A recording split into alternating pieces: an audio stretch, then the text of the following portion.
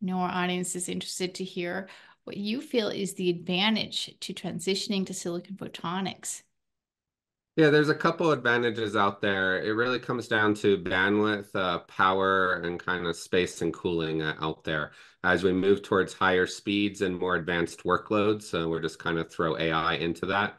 Uh, we don't have the ability to use the old technologies out there. We run into issues such as distance, amount of power in order to do the transmission out there, and kind of just the old era of compute and networking falls apart there with what we need to do uh, for these new network designs. And so silicon photonics bridges that gap and ultimately becomes the building block going forward of how networks connect. Why is the adoption of silicon photonics needed over uh, what we're seeing today as a solution?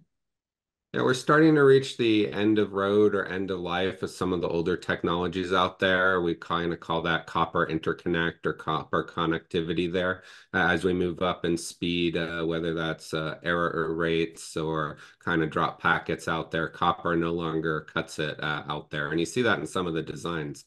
Uh, copper cables can be like just as big as the rack out there. Uh, so we have to move to silicon photonics uh, in order to get the distance back up and in order to get the capacity necessary to move forward. Okay, so to move forward, what do you think needs to happen? Uh, so what needs to happen is kind of twofold. One, there's obviously an R&D component to this, right? As you move from copper connectivity to silicon photonics, there's new engineering that's necessary. And then the second thing out there is we need vendors to come together and build a community, build standards out there so that we get interoperability and we don't have custom solutions across every vendor. So are you seeing like big trends that are happening? We are. So I think the big trend out there is kind of more in the sampling and proof of concept phase out there. Um, but vendors are starting to introduce silicon photonics uh, proof of concepts out there or architectures. Uh, the key there is that the interconnect, uh, how we do that connectivity in AI is changing. And that's going to change how the CPU and GPU connect how that server itself connects to the outside world. Like everything is different with silicon photonics, and that's where vendors are innovating. With AI, are there concerns over the data processing bandwidth needed to support uh, the advancement of AI?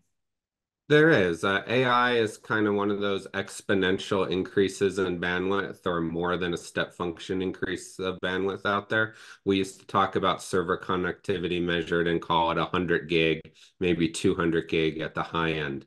Uh, when we talk about AI, we're talking about terabits per server. So it's just a whole new order of magnitude. And when you do that, uh, the old mechanisms out there in terms of connectivity or traditional NICs or traditional pluggable modules just no longer scale. It's just a very different problem and you need a different solution.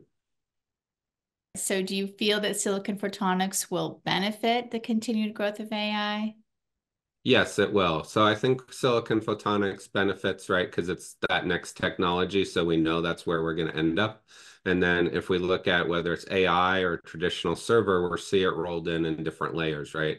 So you'll see silicon photonics introduced, we're called at the switch level, at the NIC level, at that GPU, CPU level, probably between memory uh, there. So it's not just, hey, there's one silicon photonics out there and it solves everything. Uh, we're really going to see it layered into the approach there inside the server, in between servers, and then in the broader network. Yes. Yes, agreed.